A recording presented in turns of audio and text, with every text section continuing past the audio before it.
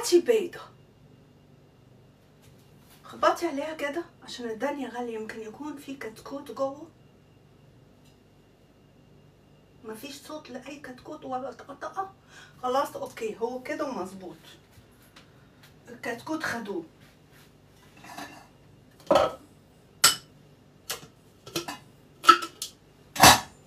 هاتي بولة. yes and اضربي البيضة بالشويش. مش مش بتنفضي مرتبة انت okay؟ بالشويش جدا. كمان بالشويش. خليكي حنينة. ليه؟ عشان أنا عايزة قشرة البيضة أعقمها وأشيلها عشان أعمل بيها حاجة تانية. ما برميش حاجة أنا. no خدي من البيضة بتاعتك يا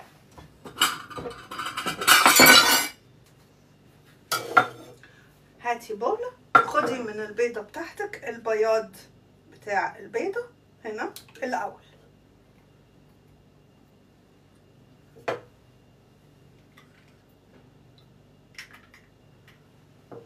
خلصنا من بياض البيضة بتاعتنا. هناخد في البولة اللي هنشتغل فيها خلطة الشعر الصفار علشان يتقل الشعر. والقشرة ما بتكدبش تخش هنا في مية عشان تتغسل وتتعقم عشان أستعملها للتقشير بتاعي. والبياض أقدر أعمل منه حاجة تانية لشعري. يس أهو خليه برضو على جنب. اليوم اللي بس شغلانة بصراحة. يعني مش هتديني قوي حاجة مفيدة. أهي كده. ناو بآخد كل الأفوكادو بتاعي عشان الشعر بتاعي. كده وأحك القشرة بتاعتي من أي بقايا. الأفوكادو دي ساحرة للشعر. Yes that's number one.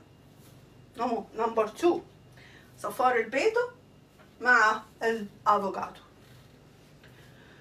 number 3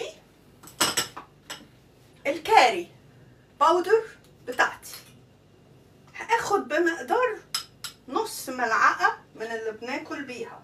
curry powder نص ملعقة من ال curry powder بتاعتي فوق الأفوكادو.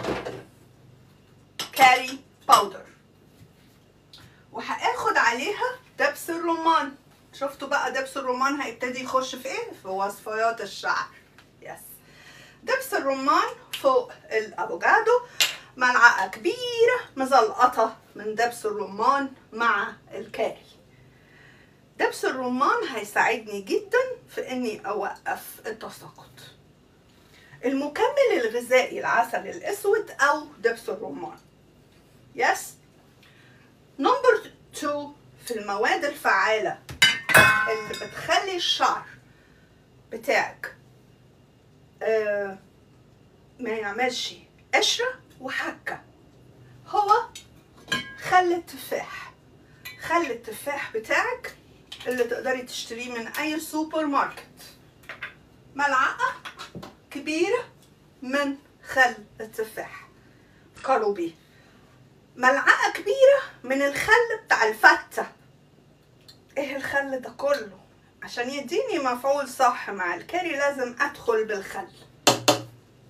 الخل كمان هيخلي الوصفة بتاعتك من الأفوكادو تعالج لك القشرة.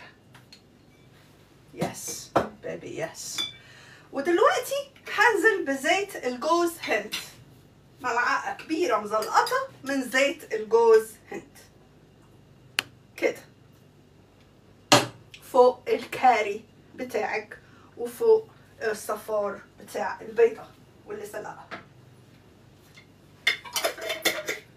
أول وصفة تنزل من عند أبي لندن ووكر يكون فيها خل تفاح بلسمك فينيجر أو خل الفتة ودبس الرمان بيخشوا مع صفار البيضة بتاعتك مع الموزاية أو الأفوكاداية yes of course انت محتاجة المادة المساعدة على التساقط هي الصبار.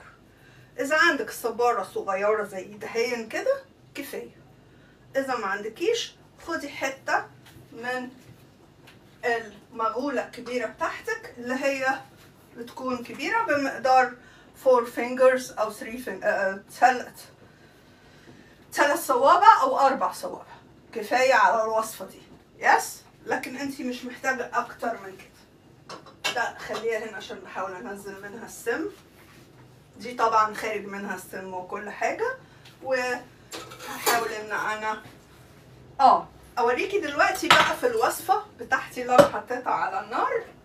أوريكي. طينة زيت الجوز هند كبيرة ملعقة كبيرة. و آدي حتة الصباره بتاعتي. اهي. باختصار. كده انت خدتي مني وصفاية مع الكاري. معلقة كاملة من الكاري.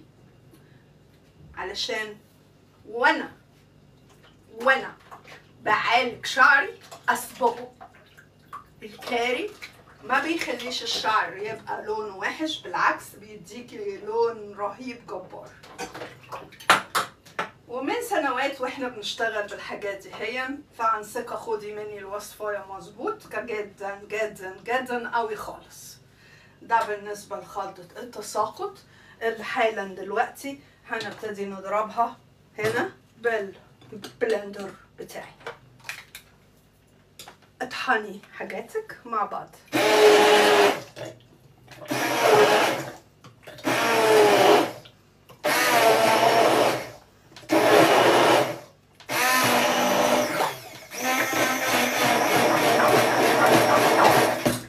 صفار البيضة يعني بروتين.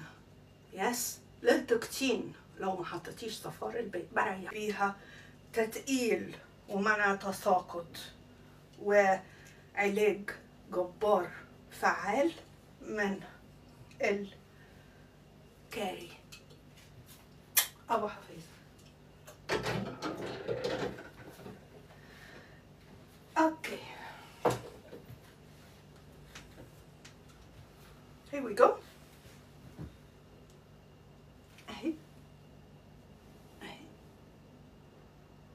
دي احسن حاجة تعمليها وتشيليها بالفريزر. تقدري تحطيها في علب بلاستيك بالفريزر. تقدري تحتفظي بيها في التلاجة.